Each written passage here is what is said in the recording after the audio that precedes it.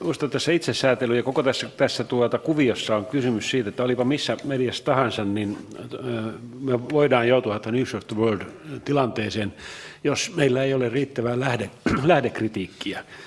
Meillähän saattaa olla, että meillä on yksi agenda itsellä, että me vilpittömästi haluamme täyttää sen lupauksen, minkä meidän, meidän medium antaa lukijalle, katselijalle, kuuntelijalle ja olla, että ei ole ketuhäntä kainalossa, ei ole niin muita asioita vietävänä, mutta miten, miten me sitten käytämme näitä lähteitä? Tiedämmekö me sen, että mikä niiden agenda on? Osaammeko me niin arvioida sitä, että miten se on suhteessa tähän meidän, meidän työhön? Ja, ja tässä minusta on riippumatta siitä, että tehdäänkö skandaalijournalismia tai niin sanottua laatujournalismia, niin on, on suuri mahdollisuus joutua sellaisen tilanteeseen, että antaa ikään kuin sen journalistisen vallan, mikä on, on, on käytettävissä jollekin toiselle, esimerkiksi kovassa skuupin himossa.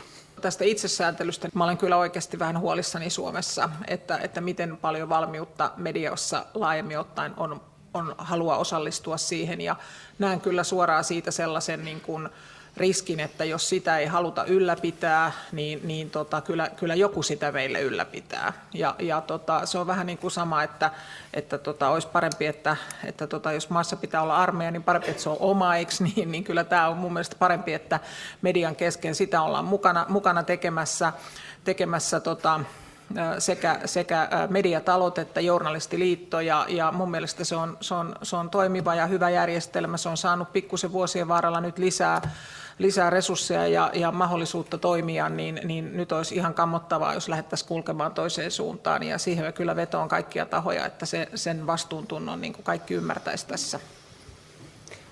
Tota, mun mielestäni on, on niin tärkeää hahmottaa sellainen asia, että pohjimmiltaan tämmöinen niin riippumaton vapaa media, riippumaton vapaa journalismi on, on kuitenkin niin kuin osa, osa niin kuin valittua yhteiskuntajärjestelmää ja, ja, ja kaikkialla ei ole valittu näin syystä tai toisesta. Kun meillä on, on, on aika syvällä perustuslaissa ja yhteiskuntajärjestyksessä tällainen, tällainen systeemitason päätös tehty, että meille on annettu käsiimme kovin paljon valtaa, niin silloin meillä on myöskin niin kuin erittäin suuri vastuu käyttää sitä valtaa tavalla, jolla tavallaan niin kuin tämä yhteiskuntajärjestelmä ja tämä journalistinen järjestelmä pysyy elinvoimaisena ja sitä valtaa käytetään vastuullisesti. Tästähän löytyy muutamia analogioita. On siis, on siis muitakin yhteiskuntasektoreita, joissa on annettu riippumattomuus jollekin taholle ajatellen, että se on hyväksi kokonaisuudelle. Ja vaikka se silloin tällöin tuntuu ikävältä, niin se kuitenkin systeemitasolla tuottaa jotakin hyvää. Rahapolitiikan puolella keskuspankkien itsenäisyys olisi sitten tuottanut hyvää tai ei, mutta kuitenkin ollaan oltu ainakin ajoittain sitä mieltä, että itsenäinen keskuspankki on hyvä asia. Tuomareinen riippumattomuus, tällaisia elementtejä.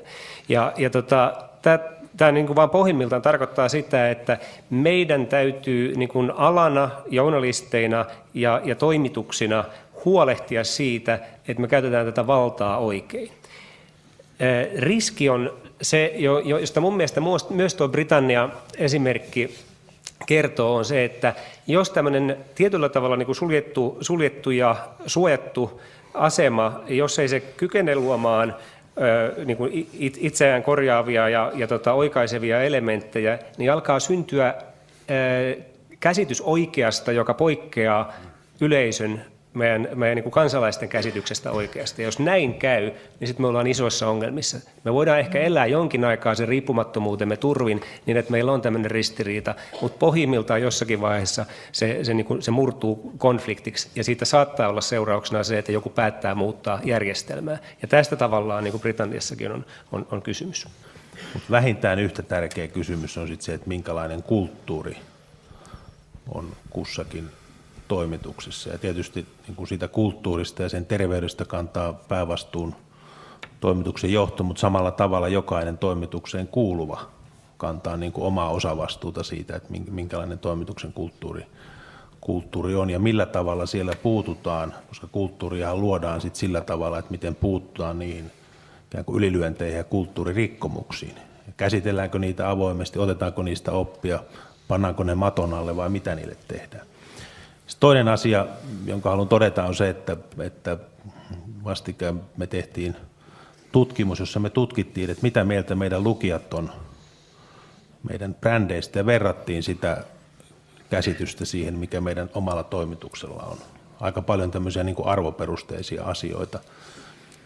Aika suuria eroja oli meidänkin yhtiön lehtien toimitusten ja lukijoiden käsitysten välillä. Minusta on todella terveellistä jokaisen niin kuin teettää tämmöisiä arvioita, jotta sitten näkee sen, että, että kuinka paljon me näemme samalla tavalla vai eri tavalla sen, että olemmeko me luotettavia, olemmeko me riippumattomia, olemmeko tasapuolisia, olemmeko reiluja ja niin edelleen.